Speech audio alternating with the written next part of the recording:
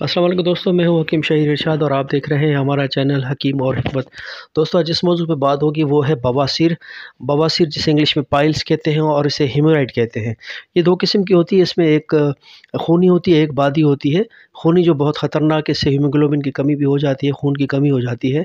ख़तरनाक वो भी है, मगर इसके साथ बवासीर बादी जो है, उसका भी वही होता है असर जो जिस तरीके से खूनी का होता है। दोस्तों ये क्यों होता है और किन लोगों को होता है? ये ख़ास तौर पे वो जो ड्राइवर हजरात हैं, लंबी रूट पे ड्राइविंग करते हैं, उनको होता है। दर्जी हजरात जो लंबा बैठे रहते हैं, उनको होता है। ऑफ़िस में जो ऑफ़िस के काम करने वाले कंप्यूटर पर बैठ कर एक ही जगह पर टेक कर काम करते हैं, उनको ज़्यादा होता है।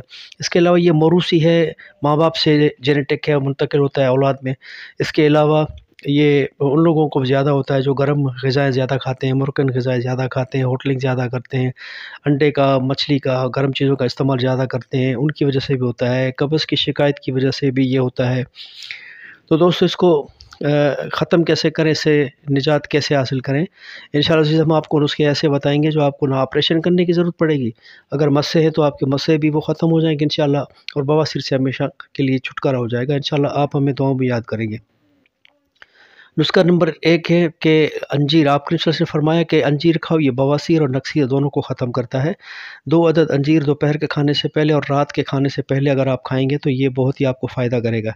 इसके अलावा अंजीर को और शहद को मिक्स करके रख लें आप। अंजीर को मैश कर लें और शहद में डाल कर रख लें। खाना खाने के बाद कर लें। इन अज़ीज़, ये भी आपके लिए बहुत ही सुपर काम करेगा। ये नंबर दो नुस्खा है आपका।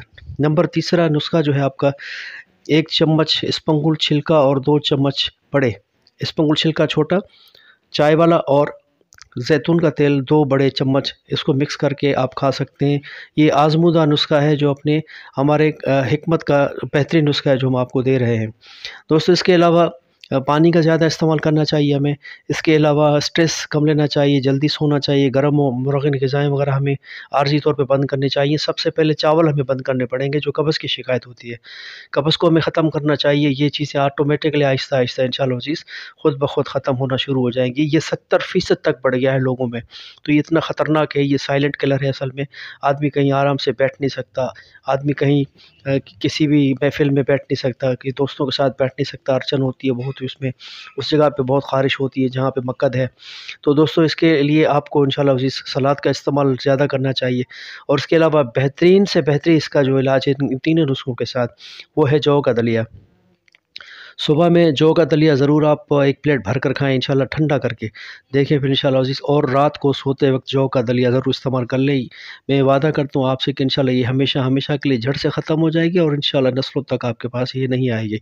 इंशाल्लाह अज़ीज़, आपको अगर हमारा चैनल पसंद आए तो इसे लाइक सब्सक्राइब ज़रूर कीजिए ताकि आने वाली वीडियो भर वक्त आपको मिलती रहे।